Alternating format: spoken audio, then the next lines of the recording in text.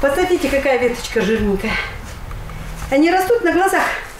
Через месяц в Магадане поспеют абрикосы. Дерево 6 лет живет в парнике, говорит хозяйка теплицы Галина Козичева. Опылять каждый цветочек пришлось вручную, так как весна поздняя, насекомые пока не проснулись, пчелы вялые. Абрикос благодарность набрал небывалый урожай. Не менее 50 килограммов фруктов ждут с одного дерева. Цветочка на цветочек переношу пыльцу как пчела моя. Виноград пережил колымскую зиму под теплыми одеялами. Жизнерадостно встречает весну даже инжир. Это кажется невероятным, но традиционная культура субтропиков вполне прижилась в северном климате. Хозяйка радушно встречает любого гостя, и чаще всего все разговоры вьются вокруг секретов выращивания теплолюбивых растений.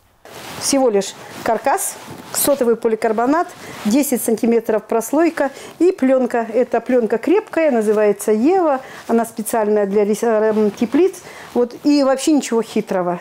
Урожай в парнике собирают каждый год. Дополняют его виноград, яблоки, сливы, арбузы и дыни. Но на этом хозяйка не останавливается. Впереди посадка черешни и особого сорта крыжовника.